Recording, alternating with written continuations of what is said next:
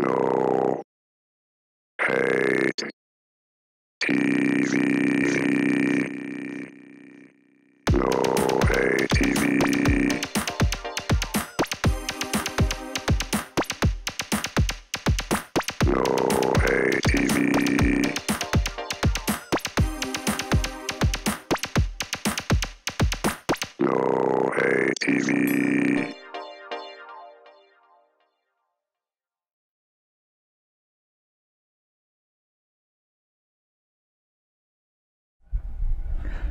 ノーヘッド TV こんばんは。私クラックの野間康道と。はい、えーと、ノンフィクションライターの安田光一です。お願いします。えっ、と今日はですねあのお伝えしてました通り、二人ともちょっとお水曜日の夜取材が入ってまして、えー録画になります。えーすいません。なんで、えーチャットやる気なくなったわっていうとか言わずにいい頑張って盛り上げていただきたいと思います、はいよろしくお願いしますよろしくお願いします。えー今日のテーマ。あ、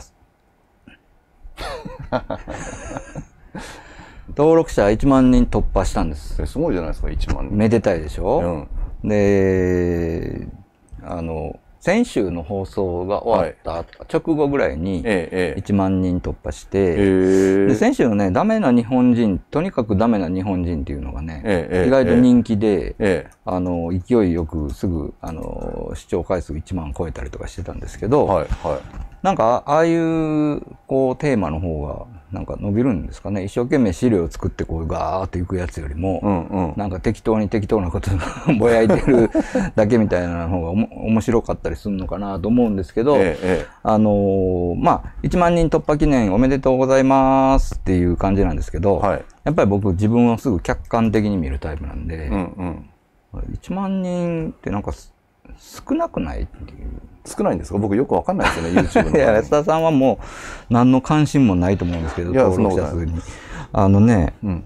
あのー、ノーヘイト TV ね、はい。1万人やっと超えてるんです。これがね、すごい。あの、乗り越えネットから、えクラックチューブに移って、え。はい。それが2021年、うんちょうど2年半前のえ1月、お正月からだったんですけど、えっと、乗り越えネットからクラックチューブに移った最初の頃は、え。ええー登録者数700から始まったんです。というのは、クラックのチャンネルは、うん。えー一応じ2014年ぐらいからあって、はい。でだけど YouTube チャンネルとしては全然機能してなくてなんか記録を置いたりとかするだけで登録者数とかも何も関心なくて要するに10年ぐらいかけて700ぐらい勝手にあの、うんうん。登録されてたみたいな感じだったんですけどあのそこを使ってねえあのこれをやるっていうのでみんな登録お願いしますとか言って、まあ、結構ガガガッと増えたんですけど、はい。だから700から始まって、うん。えっ、と2年半でやっとこそ1万超えなんです、え。素晴らしい。全然素晴らしくないんですよ。素晴らしくないの？なんかもっとしょうもないチャンネルとかうん。もうなんかすぐこ開設して3ヶ月ですぐなんか5万とかね。そんなとこいっぱいあるんです。なんかあのドッキリ姉妹とかもそうですけど。あの なんかでお大きいところはもう、えー100万200万ですよ。ありますよね、そういうところもね。うん。でなんかそういうのに比べるとうちは少ない。人気がないなでも700人からスタートしたんでしょ？うん700人って立派なもんじゃないですか最初の最初の段階からして。みんなゼロからスタートしますからまあね。でもね でも700人って言ったって、うん。バチカンの人口で600人ですからね。我々今1万人でしょ？バチカン。の人口の 10, 10倍超えてるんですよ今、まあそうですね。えあの、まあ、という意味では、なかなかの、あの、と人気という、えだってパラオの人口に近づいてるぐらいです今我々、そんな小さいところの国の人口をよく知ってますね。え。それでね、はい。あの、まあ、言うても、まあ、はい。リベラルのチャンネルの中では多い方なんじゃない？とかって思ったら、えあの、全然そんなこともなくて、あの、な古巣の乗り越えネットね、はいはい。1.2万なんです。僕らが、うん。あの、いなく、あの、乗り越えネットからこっちに移った時は確か9000ぐらいだと思うんですけど、えええ乗り越えネット1.2万ぐらいで、えで、あの、永遠のライバル、はい。ポリタス TV5.5 はい。万。5.5万うん、多分5倍じゃないですか、我々の。生意気なこと言うよ。株価として考えてくださいよ。700円だったものが今1万円でしょ？で。哲学入門チャンネル、純ちゃんのね、はいはいはいはい。哲学系 YouTuber 純ちゃんの、ええーが8.76万。え、もうすごいね。あの、それで、えーデモクラシータイムズ。はい。僕らの昔出たことありますよね。ええ、ありますね。出た、あの時はデモクラ TV だったのかな、うんデモクラシータイムズ16.6万ですよ。あほんでここに入れ忘れてたけど、チューズライフプロジェクトとかも結構な数がはい。登録者があって、えいやノイホイですら1.6万ですよ。だから、うん。全然一番人気がないんですよ、この手のチャンネルの中で。なんで人気ないんですか？私たち。やっぱり俺のせいかな。いやいや、俺が嫌わわれてるからかな。これ安田さんがもしいなかったら、登録者数今いや、そっちの方が伸びてるかもしれない。1000ぐらいだと思うんですよね。ねなんか、お互いに暗いしね。僕の方が性格が暗いし、なんか、あんまり華やかさも足りない。まあ、安田さんはでも、ノーヘッド TV の時は一番弾け、他では、あの、結構真面目に怒ったり、すごい早口でまくし立てて、ずっと怒ってる人みたいなイメージ。ここではリラックスした安田さんが見れて嬉しいですみたいな意見も結構出てます。ね。給食のために来てるようなもんですから。なんで、はい安田さんをもっと全面的に出せばいいんじゃないかなって俺はいや、そんなことないと思いますよ。思ってるんです。はいで、まあそういうことで、はいえっと、この2年間のね、はい。間に、えどういう、この1万人までの道のりの間にどういうことをやってきたかっていうのを軽く振り返って、え。えで、昔の動画、昔っていうかその2年ぐらい前の動画ってね、ええ。すごい僕らが自信作でも、視聴回数5000とかそんなのもいっぱいあるんですよ。うん。え登録者数が少なかったからね。だからそういうのを再発見してもっと見てほしいなって、アイアーカイブとしての、あの、価値がありますよっていうことで、えー、っていうかまあ今週あんまりネタがなかったので、こういう振り返り企画になっちゃったんですけども、えーその前に一個だけ、えー今日はバカニュースとかはい。乗り物とかみ人気コーナーがないんですけど、うんあ、でも乗り物コーナーでだいぶ登録者増えたんじゃないかな。やっぱり鉄道おは強いですよ。安田さん乗り物コーナー今一番人気コーナーですからね。あ、そうですか。ええ今日もなんか遠くに出張に行ってらっしゃったみたいですけど、なんかその乗り物の動画の。いや今日ね急いで帰ってこなきゃいけない形跡もないっていうね、た多分僕乗り物が我々の米びつだってことをよくし分かってない。米びつ。すいませんおた。願いしますよ。はい乗り物バーン、一回でバえーン。小銭小銭のおっちゃらんっていう音がしますよ。乗り物乗るたびにね。はいはい。では、えーちょっとその前に、あの、先週、都庁の飯山さんの、はい。あの、講義のお様子を、ノーヘッド TV と、それから単体単体で1時間の動画をアップして、で、みみんなが結構衝撃を受けたみたいで、はいえーその、来た人数が、えー講義のね、はい同行する人数がガッと増えたんです。はい。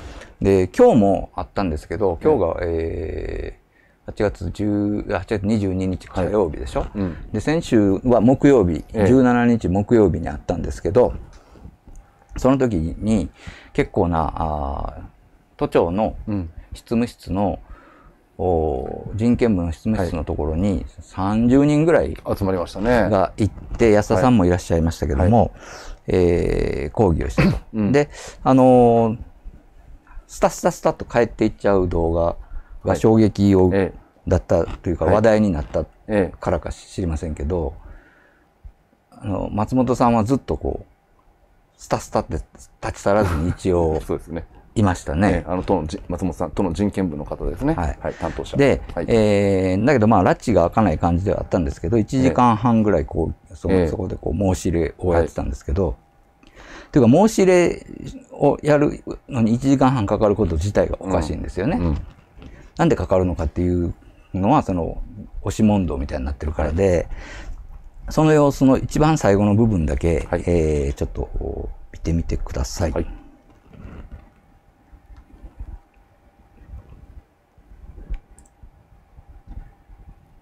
もういきなり80分経過で。そうです。だから責任を取ってください。話をしてくださいって言ってるんです。あのメールがどうしてあのメールがどうしてじゃないですね。あのメールはおかしいです。すみませんでした。一言でいいんですよ不適切でした。って今それすら発信されてませんよね。事実確認のために送ったメールです。回答になってないんですよ。朝鮮人虐殺は事実。でもあのメールでは、えーと、都は言及しないって言ってる。ここにも矛盾があるじゃないですか。東京都の姿勢とあの職員の方の姿勢。なんでそこ間違ってたこと言っちゃったからすみませんでしたって議会でも謝れないし、まあ、あのそういうふうに都民の前ですみませんって一本文書かなんか出せないんですか？それがおかしくてそれに不信感があるからみんな声上げてるんですよ。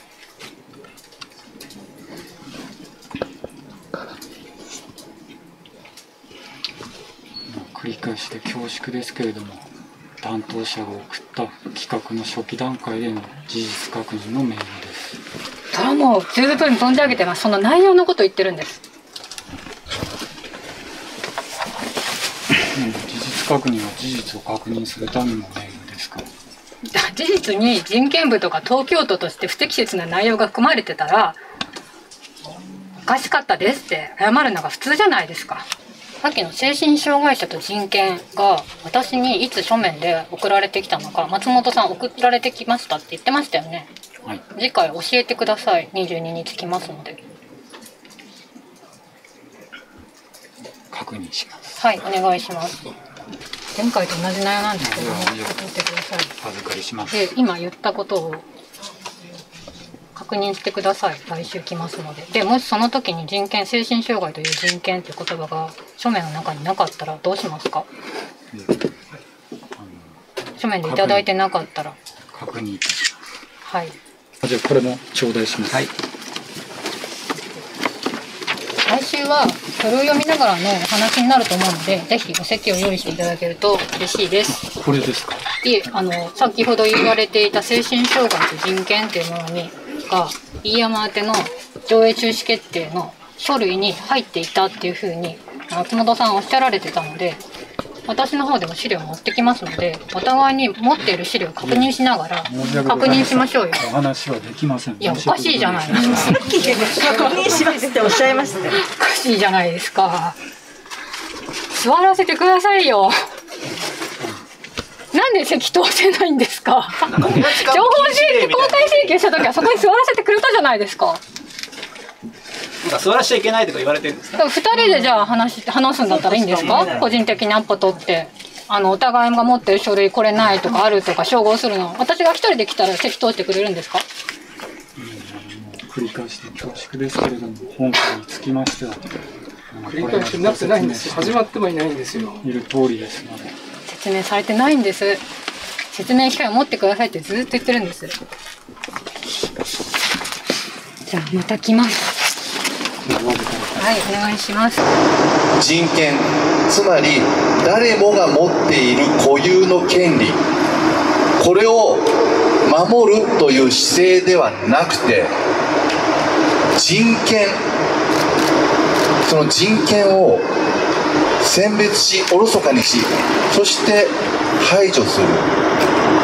そんな冷淡なロボットの姿しか見えてこなかったわけです。なぜ人権がそういう扱いをされるのかものすごく逆説的な言い方になるかもしれないけども人権部だからですよ。人権部だからなんです。忖度じゃないんですよね。圧力でもないんですよね。人権部は何かに苦しんで苦し紛れの言葉を吐いてるわけでもないんですよね。私は多分これまでのやり取りを聞いていてあるいはこれまでの経過経緯を目にしてきて確信してきたことがあります。人権ないんです。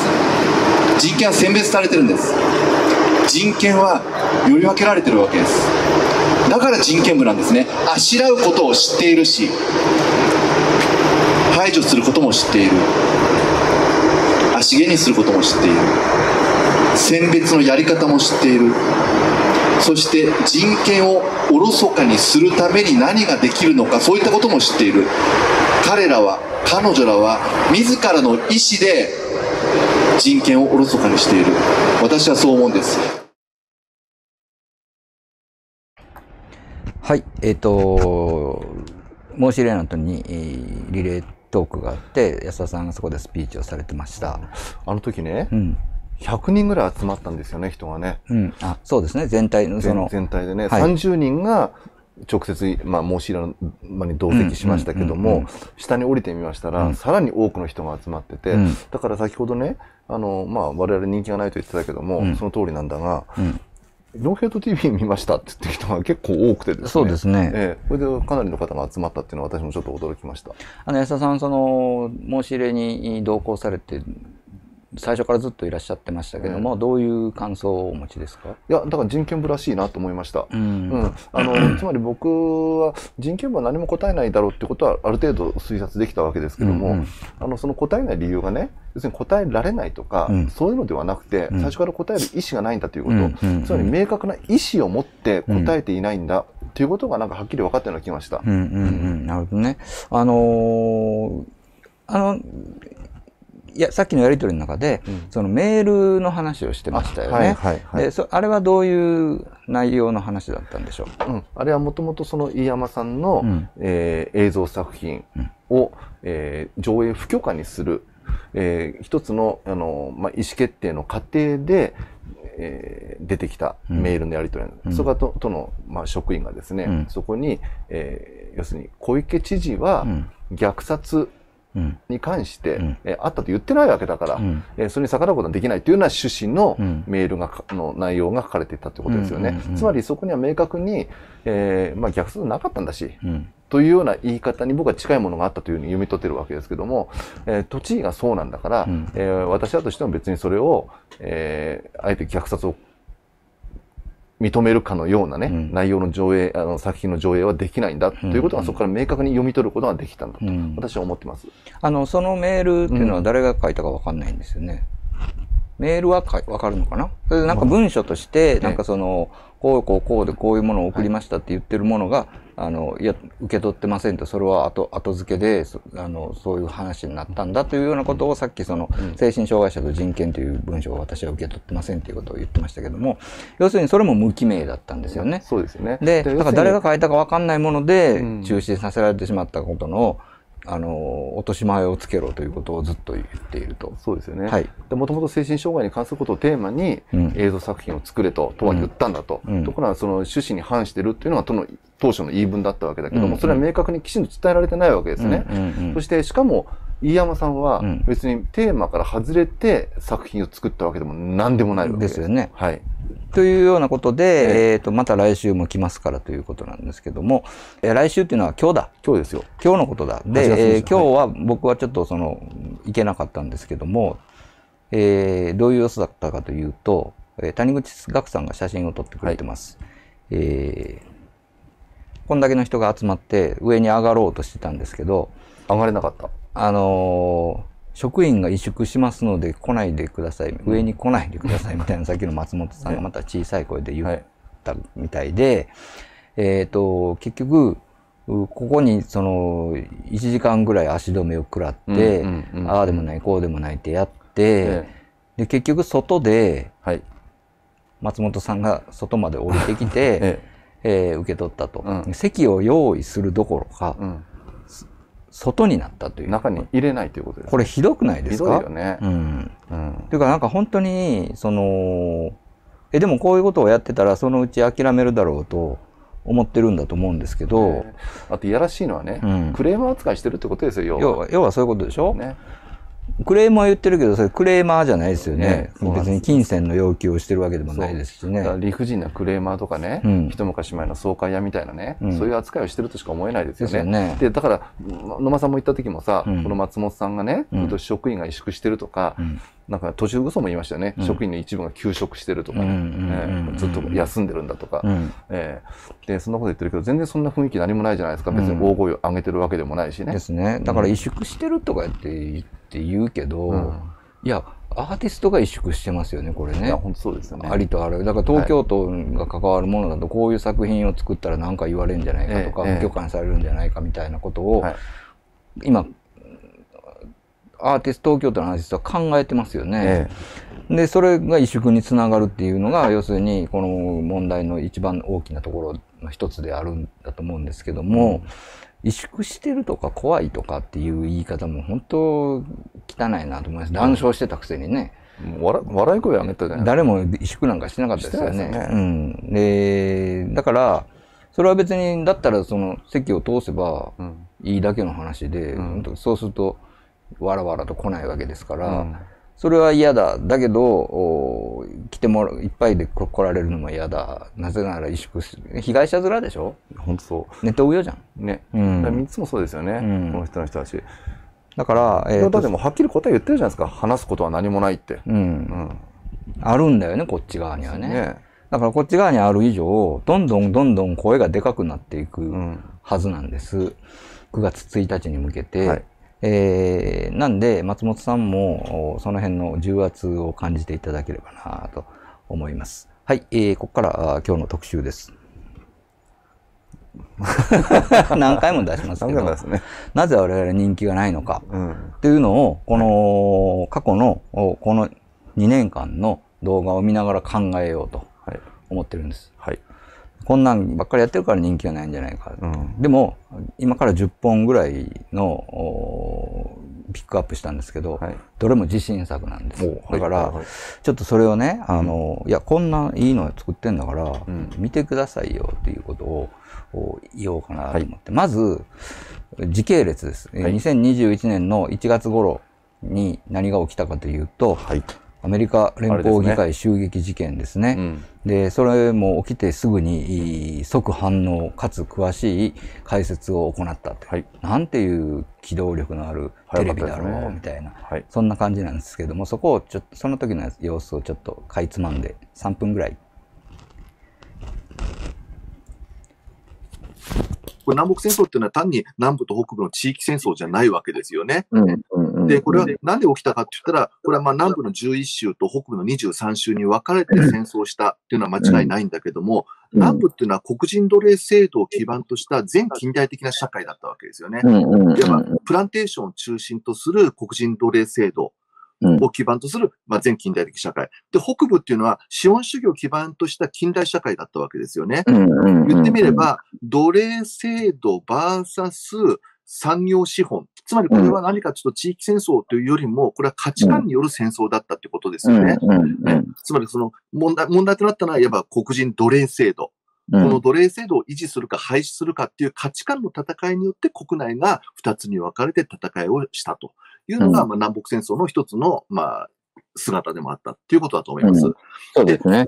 うん。で、当然この今回そのトランプ支持派の中で南軍旗を掲げてたり、あるいは南軍旗に近い様々な、まあ星が13個しかないようなね、そういったうん。初期の頃の米国旗を掲げてたりっていうのがまあ出てくるわけですけども、それはつまり当時の南軍、つまり奴隷制度を基盤としたプランテーションを中心とするその時の社会価値観、全近代的な社会価値観というものを、いわばうんその標榜して、つまりそれを主張して、今ホワイトハウスに戦いを挑んだホワイトハウスというか、えー、いわば北部的な価値観に戦いを挑んだっていうのが、うんまあ正しい見方なのかなっていう気がします。うん暴れた連中の中にはさ、例えばそのミリシアだとか、うん。あるいはなんだっけ、あの、プラウドボーイズとかね、うん。うん。そういうのもいたんだけど、あの、うん僕が気になってるのは、例えば、スリーパーセンターズっていうのがいるわけですね。うんうんスリーパーセンターズ。スリー、だから英語3ですね、数字の3。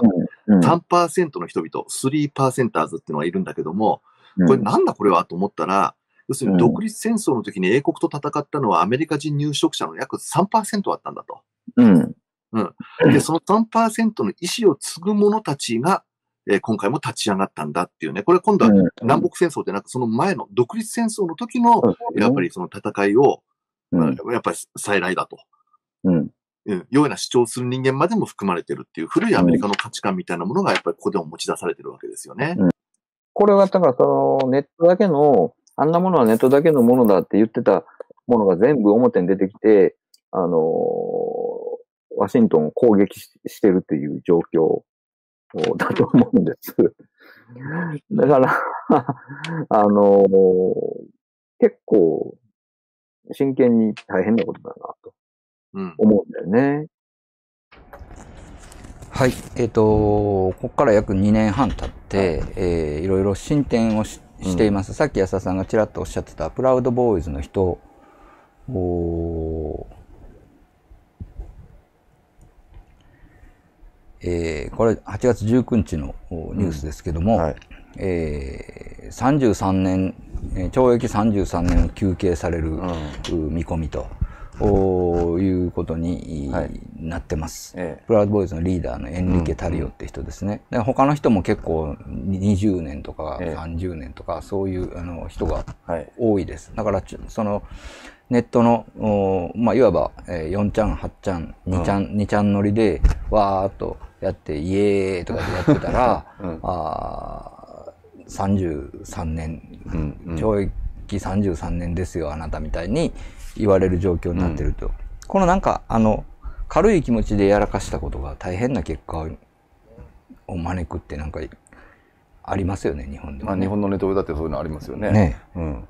でもこれ、まあ、ネトウヨだけの問題じゃなくて、トランプ自身がかなりやばかった、やばいわけでしょ？トランプさんはね、えっ、と、これは、まあ、今なんかかなり、えー、4回起訴されてるんですけども、えええこれは今日のニュースですね。トランプ plans to turn himself, himself in on Thursday over Georgia indictment. これ何のことかというと、ジョージア州で4回目の起訴をされて、はいはいえー出頭しないと逮捕されるということになってて、もうそれはね、もうしょうがないから、あの、出頭しますわということを、を言ったっていうのが今日のニュース。そうですね。だから保釈金の額までにはい合意してるって話ですよね。そうですね。うんで、えーこれこれですね。ええー14日に、いいジョージア州で起訴された。でこれ 4, 4回目と。で、起訴状には41件の訴因が記載されている。えートランプ前大統領ら19人を起訴したですね。で、19人全員が犯罪組織のメンバーに適用される恐喝罪に問われており、トランプさんも問われているということですね。要するにね、え有罪になれば最高20年の禁錮刑を受ける可能性がある。うえーで、25日正午までに出頭しなければ逮捕されると。えー19人の審理をお一括して行う。えーいうことで、えーもうトランプさんも、おかなりやばいと。これもう、いろいろ刑務所行き確定でしょうね。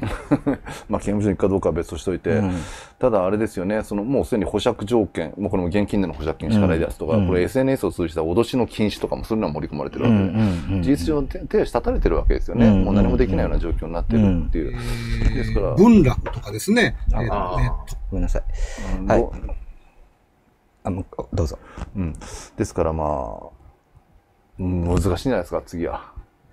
選あの大統領選ね、うん。いやこれもう出な出られないでしょ、うん。もう諦めるんじゃないですか。はい。えー、ということで、えー、2年、アメリカ内戦からあ2年後、アメリカ内戦っていうのは要するに、その、アメリカで、えーああいうことが起きてるのは、要するに、えー昔のシビルウォー、そうですね。内戦、南北戦争の再来なんだと、南はい。アメリカでは南北戦争のことをシビルウォーと、ザ・シビルウォーと大文字のシビルウォーと言いますが、それを再現しようとしてもっとヘボい感じのに再現したのがあれだったというような話をしました。他にもいろいろ美味しい情報が詰まってますので、はいえーぜひい第104回アメリカ内戦をご覧ください。はい。次。これです。えー文楽とかですね、えー図書館とか、児童図書館とかもそうでしたし、そのクラシックのその楽団とかもそうでした。そうつまり文化芸術団体なんていうのは、その自立してないと補助金でもってですね、あの、細々と流られてるだけで、えっと、それこそ吉本工業のようにですね、自立して、えー大衆に受けるコンテンツをうん出さない、えーやっていかないと、そ、そんな補助金なんて出せませんよみたいな形で切っていくわけですよね。その、だからそういう、こう、いわゆるそれが既得権益と言われたもので、その公務員もそうだし、そういう文化芸術団体もそうだし、いろんな、あそれから生活保護受給者なんかについても橋本さんはいろいろこう、水道の、あの、元を占めるようなことをやるわけですけど、その、うーんと、そういう形で、えっと、メディアもそれに、えー橋本さんの言動を、こう、日々追っかけて逐一報じることで、それに加担してきたというふうに僕は思ってますし、そこに対する反省っていうものが、まあ、特にテレビについては、あの、言えば今回のコロナ禍で、い吉村さんがもうテレビにずっと出ずっぱりだったんですけど、はい大阪では。で、全くその反省みたいなものは なくってですね。まあ、結局同じこと、橋本劇場と言われたものの、再来が、あの、去年の、特に、去年のそうですね、3月から、えー、7月、8月ぐらいまでですね、うん、繰り、繰り、あの、繰り返されたなっていう感じはしてます。はい。安倍政権は維新の方にシンパシーを持ってそうみたいなえーことを何回もやってきたんだけども、うん、その歴史否認のネットワークにしろ、やっぱり、うん、百田直樹、それから、今、DHC で、えー、虎ノ門ニュースを作ってる DHC テレビジョンというのはもともとボーイズという会社で、テレビ制作会社で、それは、そもそも大阪。社長は同級生。マジですか？ちょっとなんとか言うとってくださいよ。全然仲いいないんですけど。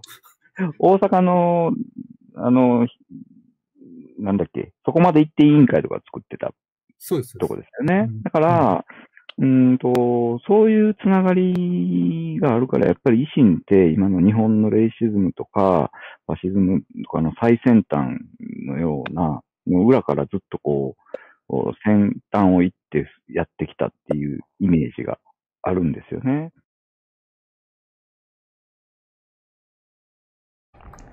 松本さんに出てもらったんですよね。そうです。えっ、と、松本はじめさん出ていただいて、あの、僕らはその維新はもうファシストやぞっていうことをバーンとこの時点で言ったんですけど、まあ松本さんの意見はちょっと違っていて、えっ、とまあそういうファシズム的な要素もあるけども、その支持者っていうのは別にファシズム的なものを支持して、支持してんじゃないんだっていうのが松本さんの持論。はい。まあそれはそれで僕もそうだと思うんですけども、その何がファシストっぽいかっていうことを、まあ5つ理由を挙げたわけですが、あのー僕らはほら、人気がないから、全然そのことが世の中に広まっていいかないじゃないですか。ええでも、お日々ニュースで流れてくるものは、うん。これを裏付けてるものばっかりだと思いませんか、その通りですね。ね。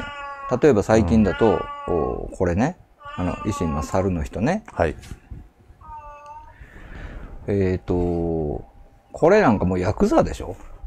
同活でしたね。ヤクザっていうかなんかこう乗っ取りってなんかもう何は金融道で読むようなものじゃないですか、これね、ね。なんかそこら辺の普通のやからですよね。そうそうそう普通のやからって言い方もおかしいけど。うん、なんか踏んで、多分合法的にやってんだと思うんですよね。えだから、あの、こんな、こんなん反射でしょというふうに思うじゃない、で、やっぱりその僕僕ら前その、えーこういうのやったじゃないですか。維新の会の犯罪っていう。え 要するに、維新っていうのは不祥事が多いと。で犯罪行為とかね、刑事犯が多多くて、えーそれもまたその、ファシストっぽいんじゃないかな、みたいな話をしたと思うんですが、しました。あの、ずっと、そそれから2年半経ってもずっと、そう、そのまんまちょろちょろ出てますね。はい。この人もなんか、あの、えーなんか脅したりとかしたんですよね。えっと、なんかこう、恫喝をして、えーだっていうのが話題になってると。で、この人いたでしょもう維新辞めてるんですけど、タクシー運転手を殴って、えーはいはい傷害容疑で逮捕。しかも90歳のタクシー運転手さんですよ。はいこの人タクシー運転手を殴るだけ50代殴るだけじゃ50なくて、えっ、と、その時に、えっ、と、痴漢行為みたいなのもやっていて、それでも逮捕されていたんですね。あの、なんかあの、宮前平かどっかで、のカラオケで、えー下半身を露出して中学生の女の子が、それで逮捕されてると。で、えーこれ拾い忘れてましたけど、去年の6月に、えー同じことしてまた3回目逮捕されてました。でも維新辞めてるとは言っても、元維新の人ですし、で、何回逮捕されても議員辞めないんですよね。すごいですよね。で、まあこういうような、あーことが続い続いていて、その、さっき松本さんが社長が同級生って言ってたあの、ボーイズっていうのは、社長ってあの人のことでしょ？えっと、DHC テレビジョンの、はいはい。あの、社長の、ええー名前忘れましたけど、だからこっから、あのーあ、山田だ。うん。山田社長。で、ここから2年経って、その間に結構 DHC がなくなっ、DHCTV がなくなったり、えー裁判で、えー負けたりとか、そういう風な展開がありましたが、えー。維新は文ますますす、ね。その、お勢いを増してるっていう、ねこの状況どうでしょうか？今や野党一党になるような勢いですもんね。そうそうそう。ね本当に。で、全然その、ファシス、なんかファシストだとか言っても全然こう響きませんね、世の中にね。そうですよね。どうすればいいんですか？どうすればいいんでしょう。ため息しか出てこないんだけど。まあ、でも本当犯罪が多くて、うんそれをメディアが全然追求しなくて、で、さっき松本さんも言ってたけど、そのメディアはグルになってると。むしろ同志のような気持ちで維新を応援していると。既得権益を打破するのだみたいな。いや、そうですよね。ええ。大阪ってやっぱそれで数字が取れるっていうのあるし、うん。で、僕もなんだか大阪のテレビ局なんかに呼ばれてね、うん。お話をする機会があった新人記者研修とかで、うん。で、その時もやっぱり聞いてみると、やっぱ橋本人気高いわけです。うん。あ維新人気っていうのはね、うん。やっぱりメディアの側でも。うん。それから選挙特番に、例えばもう引退したとえ橋本さんを出してみたりとかね、うん。そういうことを平気でやるわけですよね。それはないだろうと僕は思ってるし、うん。選挙特番でですよ。うんうんただ、そういった意味で数字が取れるという認識だけで、えー維新に肩入れをする、あるいは肩入れせざるを得ない状況を自ら作り出している。うんそれがね、東京にも飛びきそうな勢いいるわけですよね。そうですね。だからやっぱりその維新って、えっ、と、僕らその維新を会をしばきたいっていうのを作りましたけども、ええあのーあそこに出たタコ入道みたいな人とかもね、いかにも、おファシズムっぽい佇まいの人じゃない？ええええだからやっぱり維新ってやっぱり、あの、文字通りナチス、ナチスに似てるんだよね。うんうんで、なんかそういうことを、なんかみんながき、テレビが全然批判しないから、はい全然気づかないうちに、同じような感じになっていってるぞっていうことを、お意識しておきたいなと思います。はい次。えーこれもずっとその、おえーこれもずっとこう、問題が続出し続けてるものですけども、その初期のところから、収容というのはあくまで必要最小限でなくてはならない。そしてその目的は送還をするために認められるものであります。今回のスリランカの方の件は、上限が例えば何ヶ月と定められていたり、あるいは送還のめどが立っていない状態なのだから収容する必要がない、そういうスタンダードに従っていれば、こういう悲劇にはならなかったんではないかと思います。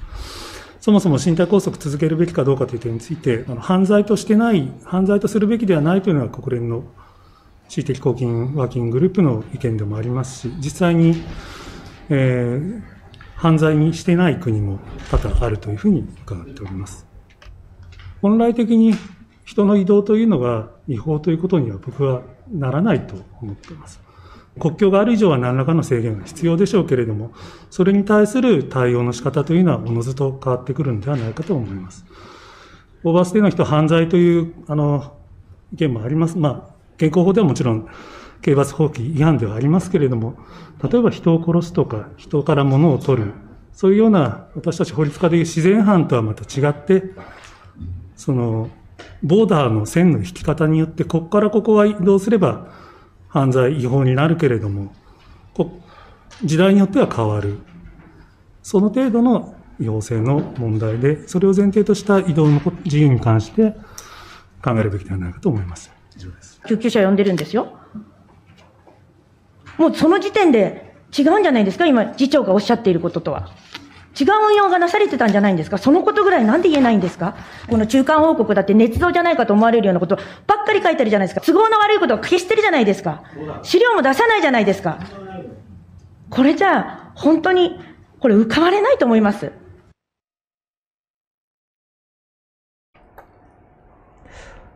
はい。あの、入管法を解約しようとしたら、えーその入管のひどい人権侵害の結果として、上島三だまりさんが亡くなってしまい、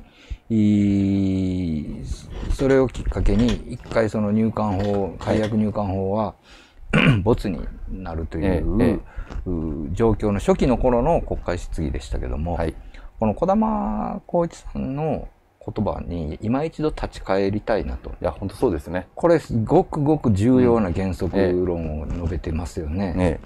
これに立ち返らないと、いろいろ根本的に人権の、えーを守るということできないんじゃないでしょうか。うんうんうんその通りだと思います。んで、児玉さんが言ってることっていうのは、例えばその、オーバーステイっていうもののね、うん犯罪性、ここれを強調することに関する意和っていうものを当然表明してるわけですし、うん。それから僕も児玉さん何度か取材してますけども、うん。やっぱり例えばその入管収容施設に関してもね、うん。児玉さんやっぱり今の立ち位置に、ん。えーを確信するようになったのは、イギリスの収容施設をし視察してからなんですよ。ん。もちろんイギリスだっていろいろ問題はある。うん。あるんだけども、例えば入管収容施設に行くとね、うん。やっぱりみんな自由に動いてるわけ。うん。うん。中にやっぱ娯楽室があったり、うん。もちろん、あのーパソコンなんかも自由に動く。うん使えることができたり、うん。それから中でバンドを組んで音楽活動をやったりとか、さまざまな形によっていわゆる自由っていうものが一定程度保障されてるわけですよ。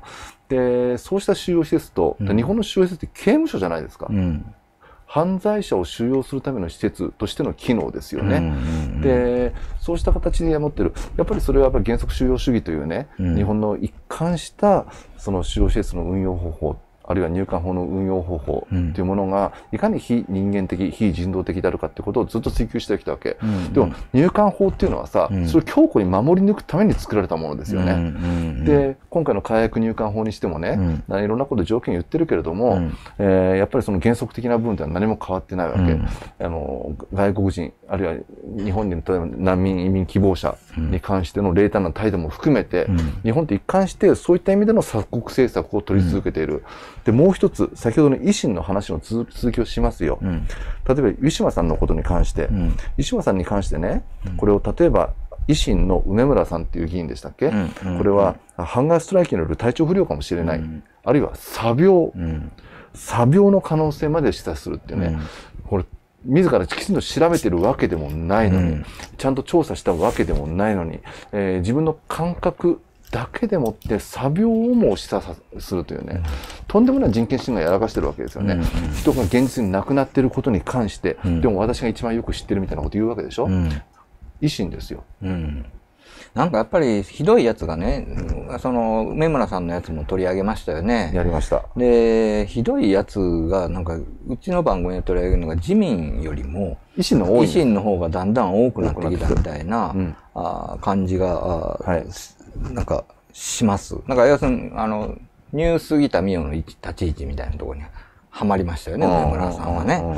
で、まあ今のお話もそうですけども、結局この、さっきの国会質疑というのは、ウィシュマ・サンダマリさんが亡くなって一月後ぐらいの、はいおもので、で、まだ原因は何だったんだっていうような話をしているところなんですけども、2年経って、2年ちょい経って原因が分かったかって言ったら、全然同じままじゃないですか。全く。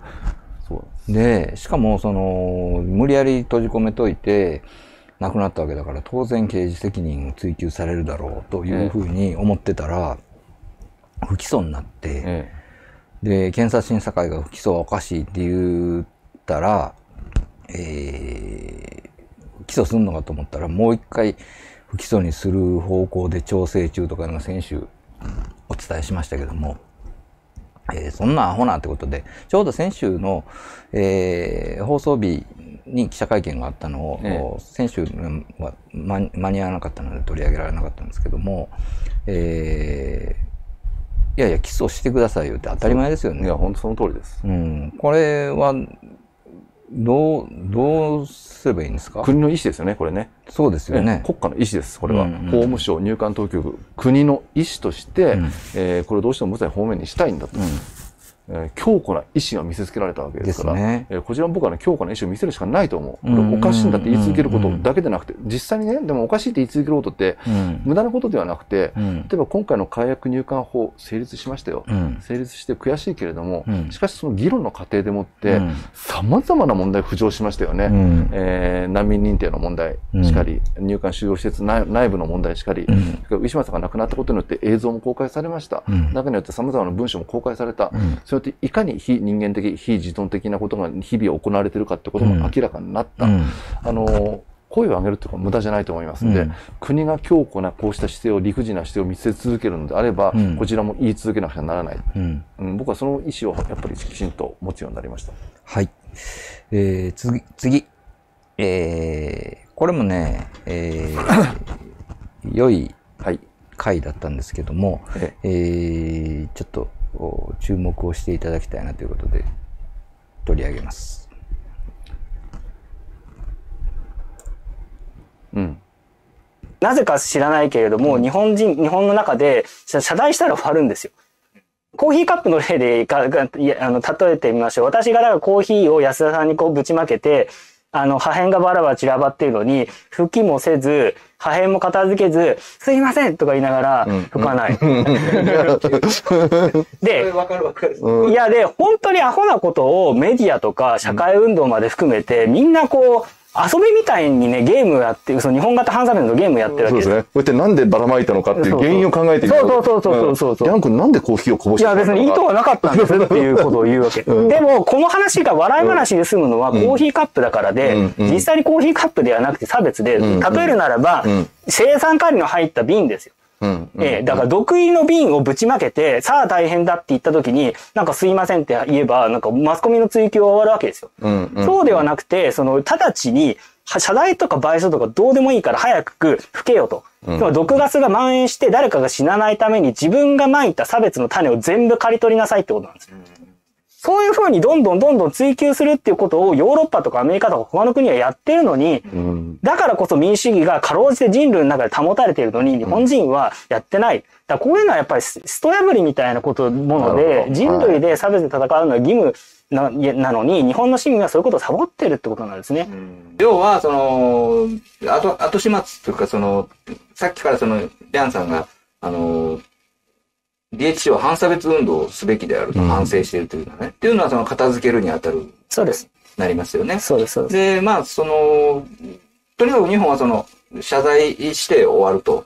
しかもその謝罪がすごく、なんか、あの、意識、そのつもりはなかったんですが、誤解を与えて。そうそうそうそう。みたいな。まあ、そう。これは、まあ、ても、もはや、あの、リャンさん的にはもうこれテクノロジーなんですね。あ、あの、テクノロジーです。あの、まあ、ああの、大学の、いや、あの、正直研究者はもっとこういうこと言うべきで、いや、ふミシェル・フーコが言ってる、その他者を統治するテクノロジーですよ。いや、で、実際みんな統治されてるじゃないですか。うん。これちょうど2年前ですけど、あの2年経ってどうでしょうか？ますますその言葉の重要性っていうのが響きますよね、やっぱりね。うん。だから同じようなこと繰り返されてきたわけでしょ、うん。全部、うん。つまり形だけの謝罪をするけれども、うん。えーこぼしたものを拭かない、うん。そのままにしとく、ん。やりっぱなしにしとくということ、うん。そういうことはずっと繰り返されてきましたよね、うん。ただね、うん。ただね今そうした見直しも一部で僕はやっぱり広まってるあのきちんと認識も、うん。一部では定着してきたんじゃないかなつまりフォーマット通りの謝罪ではなくて、あのーもうなんか何今なんか謝罪文をね、出してご不快な思いをさせてとかっていう文字列を見た瞬間にかなりの人に文句を言われる状況になってきてますよね。だからそれを見越した上でね、形を変えるっていうことも一部では生まれてきたのかなと。僕はそれ決して悪いことじゃないと思ってそこに考えるっていう行為が働いてる以上はね。うん。うん。うん。だから完璧じゃないですよ。うん。だからなんかこういうのもね、なんかそのみんなが口を酸っぱく、もうあの癖のようにして、ええ。そういうのを見た瞬間に、アホかとか言って、みんなが言い出すとだんだん流行っていくと思うんですよね。そうですね。それでだんだん認識が変わるっていう,、うーことが、でも今、だから今はなんかもうベタベタのご不快な思いをみさせ、皆様にご迷惑をおかけしましてとか言っていううん。ベタベタのやつ見たらさ、うんなんかこう、古色騒然とした感じに、う俺らはなるじゃない。ええでも一ええ。般にはまだそうじゃないかもしれないけども、えーそそういうものを、こう、なんか、それを言うとなんか、なんか言われるとうんうん。いう雰囲気を作っていくのが大事かなと思ってて、で、まあ、反差別規範という言葉もね、あのーその、反レイシズム運動をしてる人たちの間ではすっかりその、ポピュラーになったというか、これ、あの、いい言葉だと思うんですけども、これはその、リャンさんのこの回が非常に良かったからだと思うんですね。だから、それを実際の、まあその、なんていうかな、特に、だけど一方でその行政とかは全然その逆を言ってるわけでしょ。でと反差別規範があも全くない状況になってるのが東京都庁そうですね。ということになりますよね。で、えーそれは以前よりも悪いと。うんということは、その以前、その人権とか言ってたのは、えー要するに社会的構造的不均衡としての差別に反対してたわけじゃなくて、なんかしかわい虐げられた人がかわいそうだから思いやりを持って、えー優しくしましょうみたいな感じのことしか、えーやってこなかった、人権とみなしてなかったんじゃないかな、というような疑いを持ってしまいます。そうですね。うん。あの、東京都がまさにそのことを野間さんが言った通り、んあのー僕らの前に具体的に、うん。提示してくれたわけですよ。この間のね例えばですね、うん例えばこの間のメールの問題にしても、うんなんて言ってました？あの、あの方は、松本さんは。うん。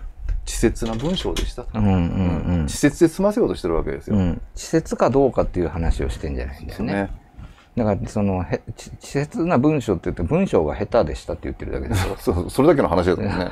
だから文章は別に文章が下手でしたっって言われたって、こちらとして、あ、そうですか？って納得するわけでも何でもないわけです。下手だって別に内容が良ければいいわけで、ええだから、それはまあ、要するに、あの、言葉足らずでしたみたいなものの変形ですよね。そうですよねだから、あの、東京都の認識として、えー東京都はその虐殺というものに、小池百合子さんが言及してないので、東京都はその虐殺という言葉が入った作品は展示できないのですっていうのは、稚拙どころか巧妙じゃないですか。全然稚拙稚拙じゃないから、それ。嘘、歴史修正の大変なこと、ゆり子す、まあ、そのと当時話題にしましたけど、ゆり子すら言ってないことを、忖度して先走って言っちゃってるっていうことが非常に問題で、それ稚拙なんじゃないんだよということいや、本を当。そうですよね。うん僕はそこには戦略の二文字しか見えませんでした。そうですよね。はい。えーということで、その反差別規範ということに関してもっと広めていきたいと。だからまた別の形で何回か、あの、しつこくやった方がいいんじゃないかなという気もします。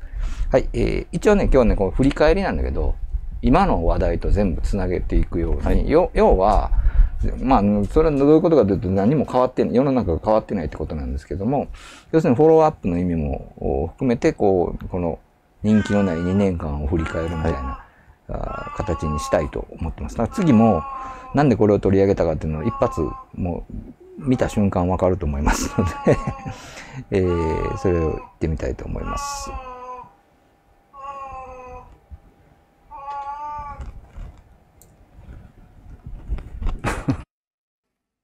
データ庁は NEC は死んでも発注しない。お金によっちゃ出入り禁止にしないかな。このオリンピックでああんまりぐじぐじ言ったら完全に干すからね。ちょっと一発、遠藤のっちゃんあたりで脅しといた方がいいよ。どっかさ、そのもう象徴的にホストを作らないと舐められちゃうからね。運が悪かったってことになるね。やるよ、本気で。あの、やるときは。払わないよ、NEC には、基本的には。はい。デジタルなのにアナログの凄みがありました。何なんですかこれね、本当に。金払えよ。いや、払うなよ。どっちも思いま思いますね。うん。だってこれあの70何億円で、えあの、オリンピックのアプリを、あの、にな70何億円かかりますとかいうの、それが半額にしたって話でしょ？えええそういうこと顔認証いらないからとか言って。で、うんと、やっぱり、その、いろんな現場で仕事をしてる人はすっごい怒りますよね。契約したもん払えよと。後から値切るとどういうこっちゃ？それも正しい。当然です。で一方で、あの、NEC はあんまり怒ってないと思うんですよ。なぜかというと、これ半額になったってめっちゃ美味しいですよね。これ NEC さ、これさ、別に、あの、そもそも、いや、この全額をよこせっていうほどのものを作んないよね。そうアプリ1個でしょ。そうだよね。そもそもそれで36億でも法外だと思いますよ。36億、そう、法外だよね。やっぱり、それどう考えてもね。はい。なんでこれがずっとこのまま、あの生きて、あのデジタル担当大臣にまでなんのっていう、でそ、そのこととなんか日本人が作るソフトウェアが全部ヘボいこととか、全部が繋がってるような気がするんですけど、どうなんでしょうか？いや、本当その通りですね。うんで、せっかくそのデジタルっていう、その、まあ、本来任された技能を、すべてヘイトに使いこ、注いでるのね、さっき野間さんがイメージ君のオードリー・タンさんを出したけど、台湾のオードリー・タンさんはね、まあ、いろいろ評価すべきところは他にもいっぱいあるにせよ、デジタルということに関してもね、例えば国民の福祉であったり、あるいは、えー、様々な災害時とかコロナ時におけるリスク回避、えー情報提供っていうことにものすごく力を発揮してるわけですよね。だから支持率も高い。それがデジタルの政府の活用として僕はあるべき姿だと思うし、他の国でもそういうことやってることは多いと思う。日本ではそのデジタルの技術をヘイトに向ける、つまりデジタル的なその部署を設けてやったことが書き込みで黙れババアと書き込むこと。うん。すごく、あのーある種象徴的な、いや、まあでもね、なんか自民党らしいというよりも日本人、日本らしい、21世紀の日本ってこういう国だなっていう感じするな。培った技術をヘイトに向ける。思い出しましたか？思い出しましたよね、平井さんね。そのちょっと維新の馬場さん的なヤクザ感がだ出てましたよね。そうですね。な古や典的なからでしょ。うん古典的なやから感が出てましたけどね。うん。でもやっぱりこれ大事な指摘だったと思いました。このデジタルヘイトっていうのが、うんデジタルを何に向けているのかということですよね。利便性じゃないんだよなってことはなんとなく分かってきますよね。透けて見えてくるというでね、結局その平井さんっていうのはね、その、み福島みずほさんのことを匿名のアカウントで黙ればばーって書いたりとか、JNSC を作って仕切ってたりとかで、ええ。そのネット工作、ネット運用工作部隊を自民党ネットサポーターズクラブね、はい。えーを作って、その世論をか乱してた悪いやつなんだという論調でその語ってるじゃないですか。で、そのデジタルでやることがネットの嵐会みたいなね。あとはワニ動画を見るとかね。えーと ありましたね。でもこの時点で、普通そのデジタルセヘイト政府とかっていうあタイトルで、普通のまあ80年代、90年代を想定するものであれば、その政府がその国民を個人個人をね、完全に管理して、うんうんうん。そのプライバシー情報とかその全部把握して、えーその全体主義的にコントロールする、一元的にコントロール、把握してコントロールするものが、まあ、デジタル政府の恐ろしさだみたいな話が、まあ、90年代ぐらいまでは普通に真面目にしてましたけど、あの今、逆の意味で、なんかそういう心配がないっていうかね、技術が全然ないじゃないですか、そういう。で、毎、あのぜその、全員にい ID を振って把握しようにも、できないというのが、その、現状の日本だと思うんですよね。だからこのずっとマイナンバーで揉めてますけど、結局、そのマイナンバーカードで、みんなその左左翼的には昔から、その、なんていうかな、国民創生番号制に反対みたいなね、えーそういうものの延長で反対してるんですけど、せ創生番号制い云々以前に、あの、でたらめ、全然、その、登録が間違ってるじゃないかみたいな、そんな、そんなところでつまずいてるでしょ、そもそもそんなスキルがなかったって話です。スキルがないって昔ならもっとあったでしょうとか思うんですけど、さっきのまあ NEC のアプリにしてもそうですけど、やっぱり日本って技術力がないから、その全体主義すらできないんじゃないかみたいな、そんな情けなさを感じたりするんですよね。だってさ、エクセルにあの手入力して、で右クリップ、右クリックでコピペして、えーデータを作ってるわけですよ。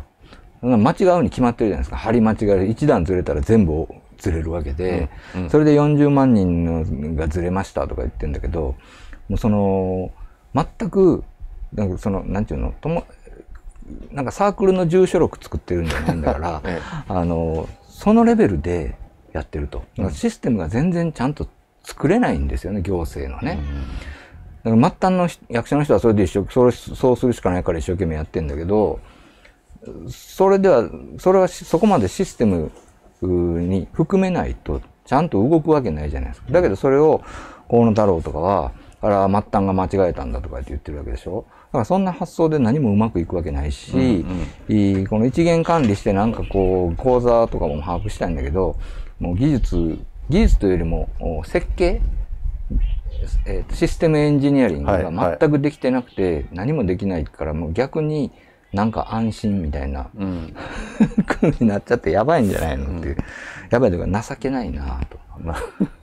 そうそういうふうに、まあ、結局、ネットで匿名嵐しかできなかったのか、日本ので、そのさっき安田さんがオードリー・タンと比べてましたけど、もう全く違うんですよ。もうとにかくもう理念とか、ありとあらゆること。うんこれがだからその先週の、あの、とにかくダメな日本人にそのまま繋がってくる話なんですけども、あの、やっぱりその IT に詳しい安田さんとしては、どういうふうに思われますか？あの、我がオードリーはね。我がオードリー。勝手に自分の。はい。友達みたいに言ってますよね。我がオードリーはさ、あの、やっぱり社会進歩というよりもね、あの人権であるとか、人間の尊重のために IT スキルを生かすということをやってきたわけです。彼自身の人生がそうだったわけですよ、ずっとね。で、ところが日本の場合にはね、デジタルを何のために推進させたかっていうと、管理するためなんだよね。でも、管理すらできてなかったっていうところが。管理する技術すらもう失ったという。そう。そう、まさに俺が小学校の時つけた小遣い帳のレベルだったわけだっつうね。で、そういうことが発揮したわけで、俺は昔、あの、コンピューターが出始めた頃、僕は割とコンピューターの導入は早かった方なんです。あの同期の中でも。全然使えなかったんだけども。ななんだけども、やっぱりその時にね、あの、やっぱり日本の左派の中にはですね、えコンピューター反合理化研究会なんていうのがあってね、僕もそこの出入れなんかをしてて、うん、でコンピューターの導入によって、うん、えー、ますます管理化が始まりですね、うん、合理化も進んでいくんだと、だからなるべく役所の中にコンピューターを導入するのはやめよ。うみたいなね、でそれによる、まあ、やめようって言うんじゃないけども、それ一元管理的なものに関して抵抗を示そうっていう。さすがの僕もですね。さすがの僕も、いやそんなことはないんじゃないかなと、コンピューターとは便利だし、ある程度のそのなんていうの応援化っていうんですか、うん、ごめんなさいね、なんか、そういったものがね、うん、えー、進んでいくってことは、利便性直結するんじゃないかといろいろ考えたりもしたわけだけども、うん、でも今考えると、あの子、生真面目に反合理化研究を進めた人々の話っていうのは、一部、一部、やっぱりすごく説得力を持って今蘇ってくるんです、まあ、だから反合理化っていうか、その、全然合理的にやる技術がなくなって、で、結局全部要は人なんですよね。そうそうそう。要するに球体依然としたその考え方と、その風通しの悪さと、えー、理不尽な、要するにあそこはなんかムカつくから干したろうとか、そんなことばっかり言ってて合理化もクソもできるわけないじゃないですか。ね、だってマイナンバーの紐付けトラブルがこんだけ起きてるっていうのは異常でしょ、うん、やっぱり。異常でしょ。だってそんなことは、あのー、その手入力のミスでした、コピペミスでしたみたいな話で済ませるっていうのは、うん、その世界のどこの国もそんなトラブル起きてないわけですから、ね、だからもう全然辛いなダメだな考えれば考えるほど辛いなむしろ俺を完全に管理してほしいみたいなそんな気持ち。いや本当そうですよね。やってみろみたいな、はい、ちゃんとやってくれ頼むからみたいな感じすら、はい、あ覚えます、はい、はい、次えー、これも現在進行形の話ですけど、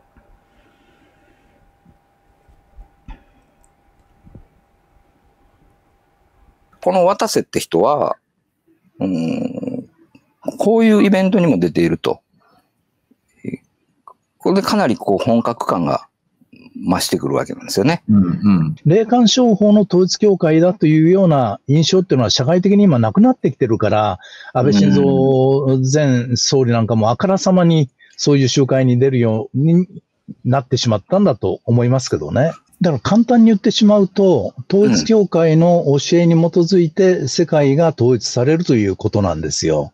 だから、あの、一番大事な教えであって、神統一っていう意味も、あの、一般的な神が統一じゃなくて、統一教会の教えで世界が統一されていくということであって、えまあ、文鮮明教祖がまだ生きている時なんかには、あの、これは日本でも雑誌の文藝春秋が、あの、副島さんという世界日報の編集局長が暴露の論文を出したんだけれども、うん、統一教会の中には儀式があって、日本の天皇陛下が文鮮明の前にひざまずくと。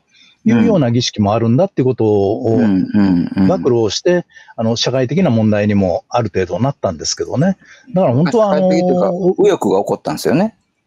もう本当は怒んなきゃいけないんだけど、今やもうそういうことも知らないですから、あの、もう歴史がもう全然ぼやけてしまって、まあ、その一言言っとけば、あの、例えばあの地下鉄サリン事件が起きたのは1995年じゃないですか。はい。その時に生まれてなかった人たちが今、若い人たちがいるわけで、えー、今、オウムの組織に簡単に入ってしまう人がいるように、まあ、統一教会の問題点っていうのは知らない若者たちっていうのはものすごく増えてる状況のもとで、まあ、いろんなあの、綺麗な組織名なんかを使って、えー、学生さんたちも、あの、そういう関連組織に組織されていってるという現実があるっていうのは注意しなきゃいけないと思いますけどね。総選挙が近く必ず11月にはあるん。で、まあ、こうやってあの、安倍さん含めて、えー前面に出てきている状況の下で、統一教会との関係でね、やはりあの、信者の人たちっていうのは、基本的に真面目ですから、あの、そうやって統一教会の関連組織、ハン・ハッチャーという、う今、あの、メシアという位置づけなんだけれども、うん。その人のもとで安倍さんまでが出てきた、トランプまでが出てきたっていうことで、まあ、それはものすごくあの、力になっていくんですよね。だから総選挙なんかでもあの、お頑張ろうっていうようなことで、まあ、謀略的な動きも含めて、えービラ配りであるとか、ポスター剥がしであるとか、まあ、いろんなことをやってくるという意味では、今年の11月に行われる総選挙での統一教会信者たちの動きっていうのもお注意しなければいけないというふうには思ってます。はい、これが2021年の9月に最初に放送して、有田芳生さんがゲストで、そうですね。で、1週間ぐらいで統一教会からのお通報により、消されましたね。消されてしまった。で、なんかペナルティ1個ついたから、そのペナルティ1個、通報っていうのは著作権法違反だとか言ってね、その要するに天中平和連合のプロモーションビデオを丸ごとお2分ぐらいのやつ丸ごと流して、えー論評してたので、えー著作権法違反だってことで、えー丸ごと強制的に消されて、えーで、ペナルティ1個ついたから、そのペナルティが消えるまで、YouTube ってなんかペナルティが3つあ溜まると、チャンネルアウトになるんですけど、えーそれぞれ期限がついてて、まあ3ヶ月とかで消えるんですよね。うんで消えるのを待って、2022年の3月にいい再放送したと、えーいう流れです。その部分をカットしてね。で、この時点で、えー統一教会、なんでこれをやってるか、なんでその2021年の9月にやったかというと、UPSF 世界平和連合の、おイベントにドーンとでっかく安倍さんとトランプさんが演説をしてて、なんだこりゃとかね、これ統一教会にこんなに堂々と出てええんかとかって言って、えーやったんですけど、僕らがやっぱり人気がないせいか、何の反応も呼ばなかったですよね。反応してくれたのは党の統一教会だけだった。で、別にまあこれは、あの僕らの人気のなさもそうなんですけど、うん鈴木エイトさんとかね、あのーほぼ日刊カルト新聞とか、あと赤旗とか、ちゃんとやってるところはやってるわけです、僕らよりも先に。あと週刊誌でいいどっか、フラッシュかなんかがやったのかな。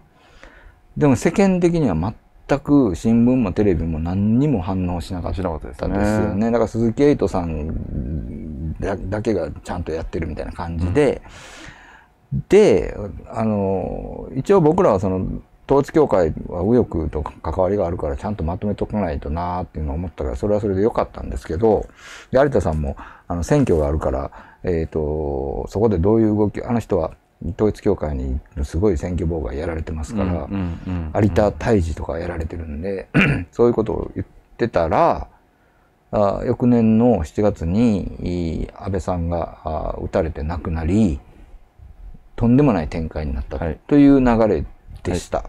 えーで、その、そこからさらに1年ぐらいが経ってるんですけども、おいかがでしょう？結局、元に戻ってる？うん、そうだよね。うん。うん。相変わらずそのメディアの対応もそうですし、うんそれからある種の、新たななんか、またタブー視するようなね、これをこと取り上げること自体をね、なんかそういった波を、軽い波が来てますよね。軽い波来てますか？うん、来てるんじゃないのかな。うんうん。何の反省もないんだね、やっねぱりね。はないですよ。だから、あので、馬場さん、維新の馬場さんも統一教会結構関係だ結局みんな絡んでたわけでしょ。そうそうそう。これももう払拭できないんだよね。そうなんです。ということはもうカルト宗教と一体化して、えーデジタル技術もなく、給料も安くそのままい。くってことでなんですか、うん。だから結局価値観そのものがさ、うん。統一教会的なものが今でも生きてるわけじゃないですか。うんうんうん。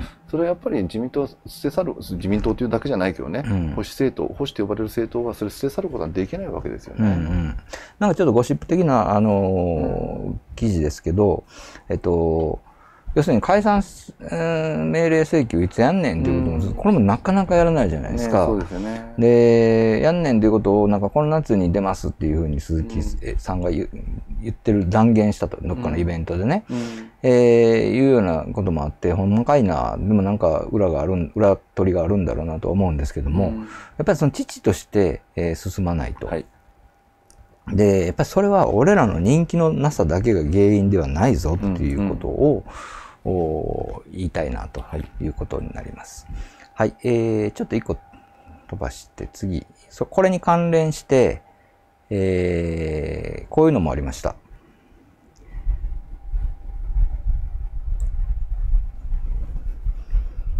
参政党がまさに米なんですよね。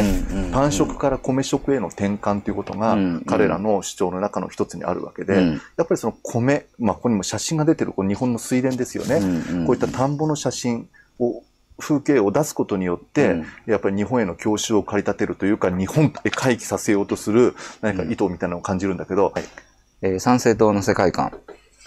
オーガニック振興プラス保守要素。お有機農法、有機農業有機農法、国産種子保護、米食への転換、糖類、パン類拒否。要するに砂糖もダメって言うんだよね。うんこの辺がなんかその、ちょっとニューエイジっぽい、あの、感じもしたり。それから加工食品拒否、食品添加物拒否、反ワクチン、反コロナ行動規制、給食改善運動。っていうようなのが、を全面に出してくると。このヒトラー思想の勧めっていう本に、そのサブタイトルを見ればわかるんですけど、そうなんですよ。自然と人類を救済するナチスヒトラー世界観のええ120%肯定のって、で、内容的には、ディープエコロジー本なんですよね。どうももともと、その、ドイツの緑の党っていうのはもともとは右翼だったと。うんうんうんうん。おいうことらしいんです。うんで、これが僕はその、一番衝撃的なことで、えで、この中にはそのドイツの歴史には自然への関心が反動と結びついた伝統がある。つまり反動っていうのは、自然とか、その、そういう話、環境とかいう話をすると、ナチと思われると。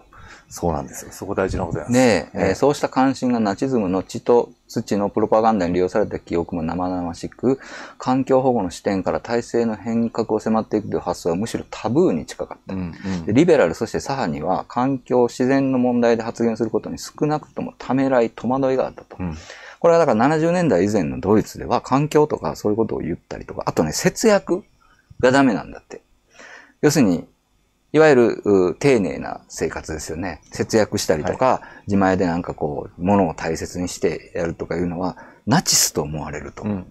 ナチスがそういうことを推奨してきたから、ナチズムでは農民農業が非常に地位が高かったので、環境はポピュラーな要素の一つでした。ナチズムのイデオロギーの元になるのは地、そして大地でしたので、環境もそこに入っています。この土地に対する権利はそこの土地で育った人にしかないので、人種学が発達したようです。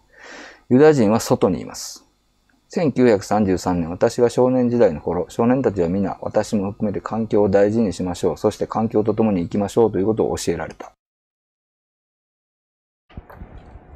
はい、えっ、と、参政党の話題から、あーこのオーガニック極右会に。ねこれ面白かったですね。うん。なんか結局、極右ってめっちゃエコロジーと関係があったんだよということで、うん参政党みたいな奴らが出てくる土壌みたいなのが分かったかなと思ったんですけど、あの、賛成、さっきね、あの、統一教会の会で一番最初に渡辺裕也って人がちらっと出てたでしょ？あの時は肝オタの仲間として、えっと、肝オタのなんか、なんかの署名運動で荻野実とかと一緒になんかやってたものが、に参加してるんだけど、賛同者として参加してたのが渡辺裕也なんだけど、この肝オタは統一教会のやつだよっていうこと、統一教会の関係者だよっていうことを言うためにあれはやってるんだけど、その時僕参政党のこと全く意識してなかったので、参政党の立ち上げメンバーでもあるんですよね。うんうんうんうん渡辺裕也って人は。はいはいで、まあそこから、その、参政党っていうのが、その、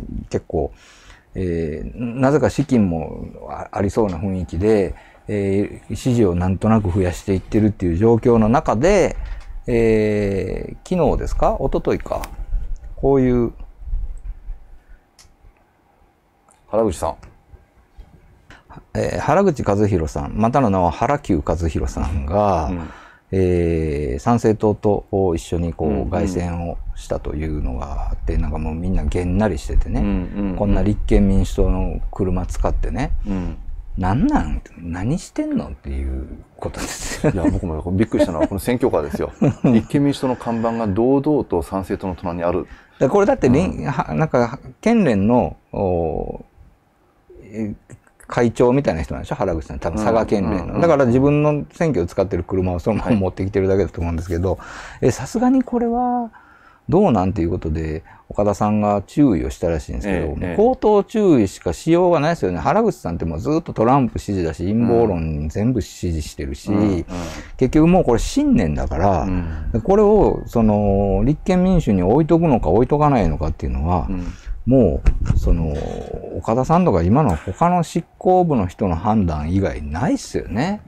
だもう自分の信念でこれやってるわけだから、ね、かといってあの参政党に移りたいってわけでもなくて立憲の中でこれをやりたいわけでしょ？うん、でもそういう参政党的なもの陰謀論的なものほんで特にその参政党とのタッグが何が悪いって単なる陰謀論でも悪いんですけどめっちゃレイシストなんですよね。そうです、その通りで。なんでエコロジーがレイシストになるかっていうのはさっきのあの、オーガニック局の中でナチスの頃から、要するに土地と、その土地の人が、えーえーと、植物も生物もその土地のものが一番その土地に合うのだっていうことで必然的に排外主義になると、うん、えー、いうところからあそのオーガニックというものはえー、極右との親和性が高いっていうのをまさに体現してるのが参政党で、だから、原口さんがそれと仲良くするっていうのは、あの本人の思想からすれば全然理解できるんだけど、これはレイシズムへの加担ですから、ね、もっと厳しくしないとダメでしょ。はい、その通りです。あの、反ワクチンでね、反ワクチンという一点でなんか共闘したかのようにイメージを与えるかもしれないけども、うん、結果的にここに一緒に並んでるってこと、うん、で車も寄せ付けてるってこと、うん、これはやっぱりそれは参政党にどれだけコミットしてるかってことを自ら示したことになるし、で知らないわけないと思うの政治家なん。だから、あらゆる情報チャンネルがあるわけだから、この神谷さんだってね、まあ、僕ら散々取り上げてきたけれども、もともと在特会の関西支部長をやっていた増木茂雄さんと共に活動してた方ですよ。神谷さんそのものは在特会の活動はしてないと思う。だけど増木茂雄さんと教育の理念というところに。チルドレンだね。そうですね。マスクチルドのお一人ですからね、うん、そうした形でもってやっぱり同じようなイデオロギーを共有してた。うん、でこれはまさに差別と排除の思想まさにその政治思想そのものがこの当然の中にも出てくるわけでしょ。う。だからそういう人と一緒に並んでるってこと自体がもうアウトです。アウトですね。はい。はい、えっ、ー、と、それとまた関連すると思うんですけども、はい、このことも何回もいろんなタイミングで取り上げてきました。あうん、このね、その、政党がみんな解散しちゃうわけでしょそうですね。自主的に。はい。これ無理やり解散させられたわけじゃないんだよね。うん、そこがポイントで、社会大衆党も自主的に一番最初に合流して、これ、立憲政友会と立憲民政党の緑と青と赤の右側の長さが違うでしょ。うん、合流した順番なんですけども、うん、あのー合流して、で、政党がなくなっちゃって全員無無所属になっちゃうっていう。そうですね。ただね、うん、この抑散体制に参考までに言っておけば、もちろん反対した人はいっぱいいるんだけども、リベラルの中にも、もう一つ、極右も反対してたっていうところは、やっぱりちょっと戦前のね、あの、一つの特徴と言えるかもしれないですね。だからその、で、まあその体制抑散会っていうのができて、で、これでもう5年経って戦争に負けて終わるわけですよね。はい。はい、この、このできた翌年に、こう、満を持して、太平洋戦争始まるわけですよ。えええアメリカ、もう行けるっていうことで、うんうん、で、真珠湾攻撃して、で、4年でポロカスにされて、うん、えー、一旦全部リセットみたいになると。はい、で、えー、そこからあ80年ぐらい経って、うん、また勝手になろうとしているっていうんじゃないのっていうのが今日のね。しかも戦争もしてるわけでもないのに。戦争もしてないのになんでそうやって抑散的になっていくそうですよね。その、要は体制抑散会自体はその綱領とかも最初なくて、そんなんいらねえとか言ってんの、なんか単単なるなんか集まりっていうか、か塊なんだよね。で、この第1回臨時中央協議会っていうのが行われたのが、これ結構後なんですよ。うんうんで、まあ、やっぱこれ抑制体制を促進するための機関ですよね。そう。やっぱりそこに、その、えっと、コーラ富さんとかね、うん、えー、そういう、まあ、女性運動の人、うん、えー、それから農村代表とかね、スポーツ界代表とか、この、このあたりもなんか今今もすごく似てない？いや、似てますよね。で、いろんな人持ってきたっていうのはね、その、例えばトミさんなんていうのはさ、これ日本女性で初めて博士号を取った人ですよね。極右、バリバリの極右が集まってね、え中央集権的な組織を作ろうっていうわけじゃないわけですね。このメンツを見ても。どちらかっていうと、そのトミさんを含めて、割と穏やかな人々を集めた感があるじゃないですか。どこか。はい、えっと、現在、体制、抑散体制に行きつつあるんじゃないかという問題提起をずっとしてきましたけども、えー、これがちょうど1年ぐらい前になるんですけど、ええ、その後どうでしょうか？いや、これはね、僕は言及したかったんですよ。うん、で、この時はやっぱり抑散体制に近づくっていうのは、うん、僕らすれば将来像を描いたつもりでいたんだけども、うん、近づいてるよね。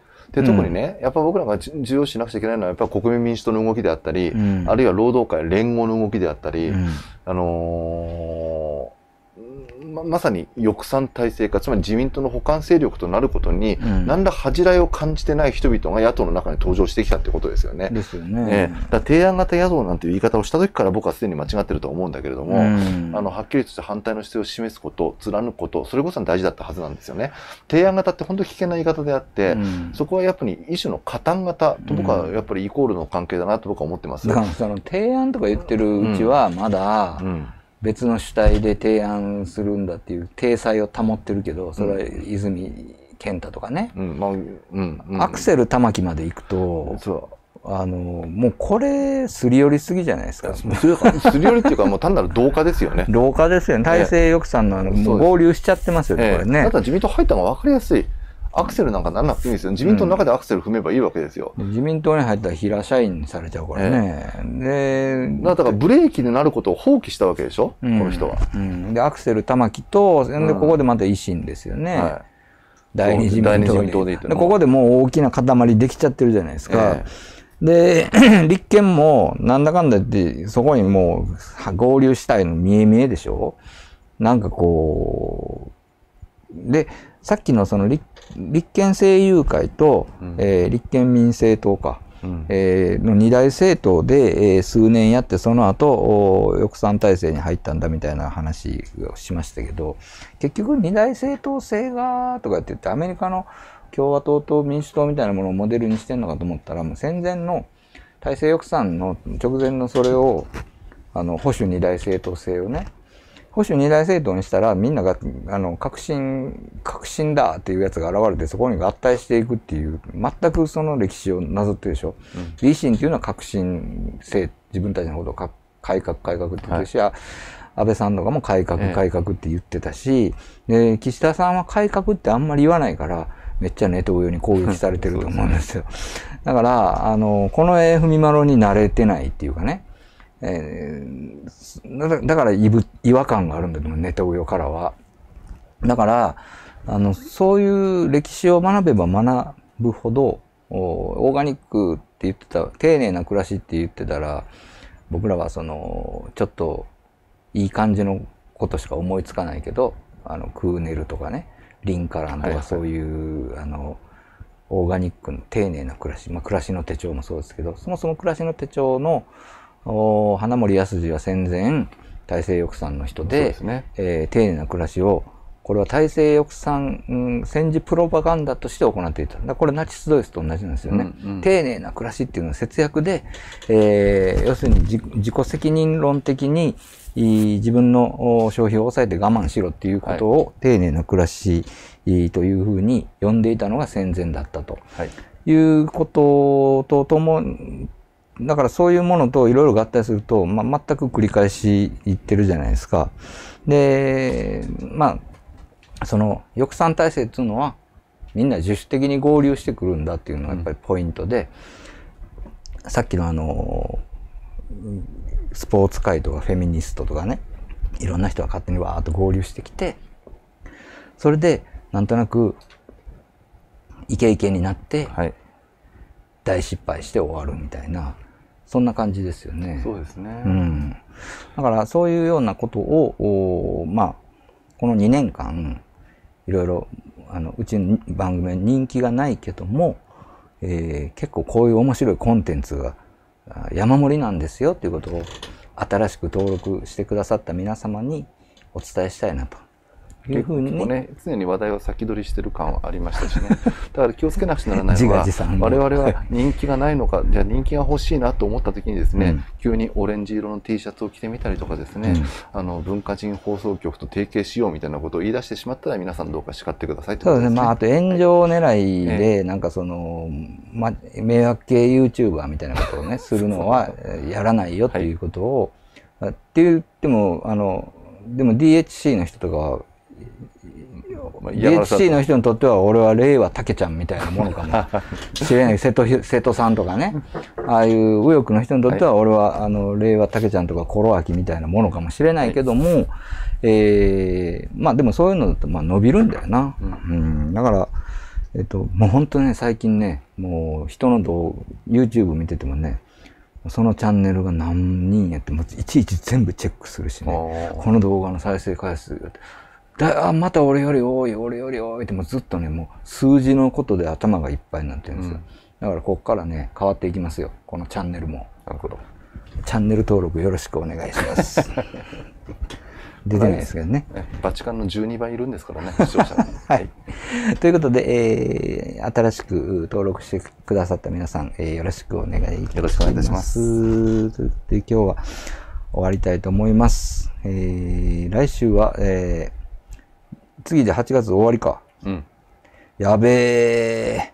で、そして、えーその100年目の9月1日に向けて、えーまた進んでいくという感じになります。では今日はこの辺で。ありがとうございました。さよなら。チャンネル登録よろしくお願いします。